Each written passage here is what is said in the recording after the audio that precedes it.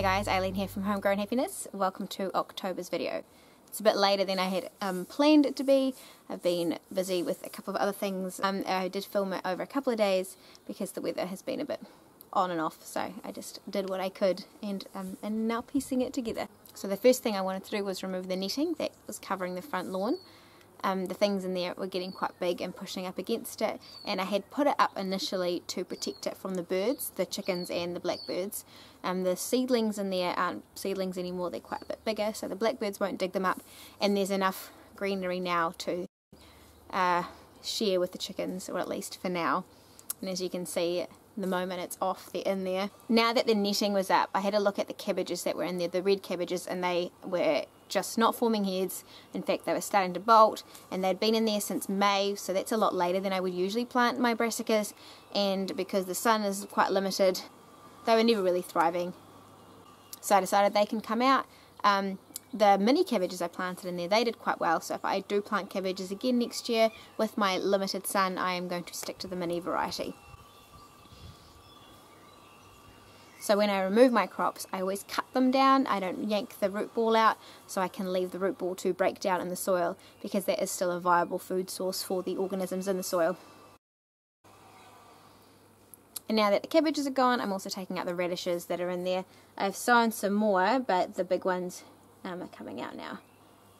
Um, so the red cabbages, just because they haven't formed heads, we're still going to be eating those.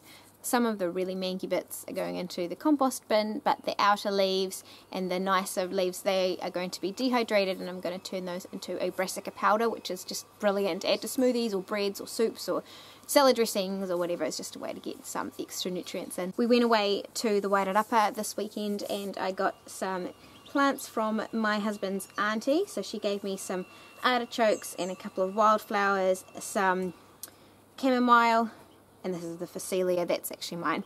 I was also given some more hay, so I get my hay and my horse poo from a couple that own some horses not um, far from me, and then this bale of hay they said was not appropriate for the horses anymore. I think it was left out in the rain and then it get uh, wet, and then it, um, yeah, they, the horses can't eat it anymore, so they ask if I want to have it, and I'm like, yes please, because I love using hay or any kind of free mulch in my garden. So that's going to be brilliant to add to my potato patches. Then Shay's auntie also gave us this bag of mushroom compost. She gets her mushroom compost from Parkvale Mushrooms, which is in the Wairarapa.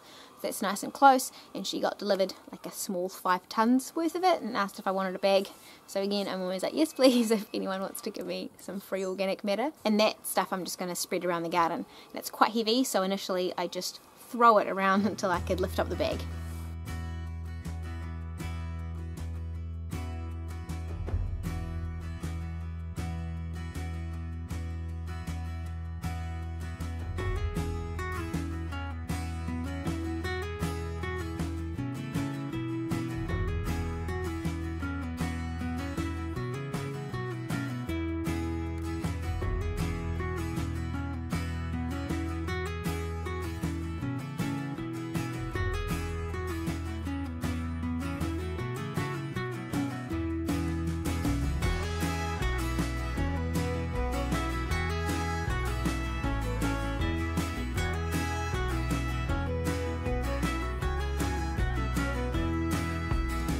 Things in here are getting nice and big but I'm still not going to plant things out just yet. It is Labour weekend this weekend, which is traditionally when like the people in the warmer parts of New Zealand would plant out their crops, but just from past experience, it is not set that that is the last time it's going to be cold. Last year, in fact, it was like in November there was like a frost, and I remember down south they um, even had a snowstorm in um, November, which is like get crazy. So just waiting with my tomatoes and my warmer crops like that.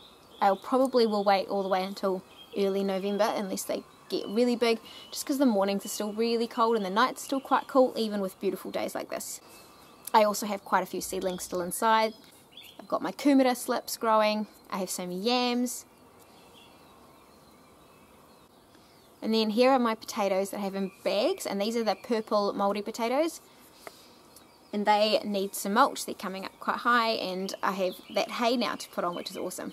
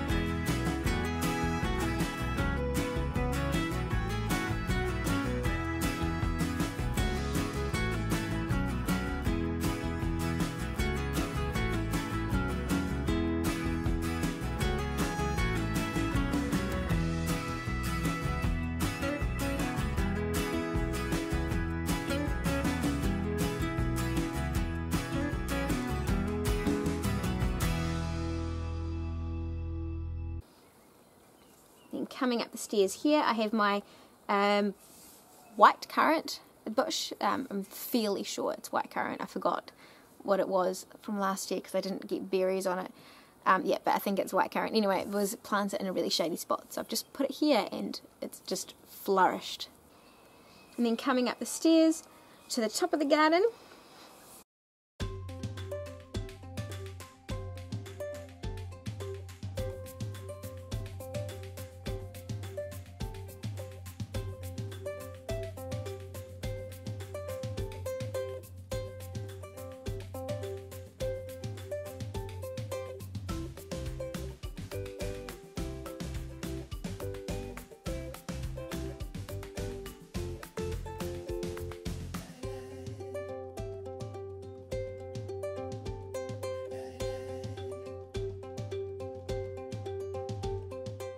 I'm going to be planting some more potatoes uh, because I got some uh, well-priced sprouting potatoes from my local organic store and these are these Summer Delight uh, potatoes which I grew last year and they were really cool so um, yeah I'm going to plant just in this little patch here. I'm not going to spread them out too far because I want to plant other summer things there so I'm just going to do it in a quite a contained little rectangle. So it's just my no dig style of um, planting potatoes make a little hollow in the soil, pop the potato in with the ice facing up, and then keep covering with organic matter um, as the greens pop through just so that they don't see the sun.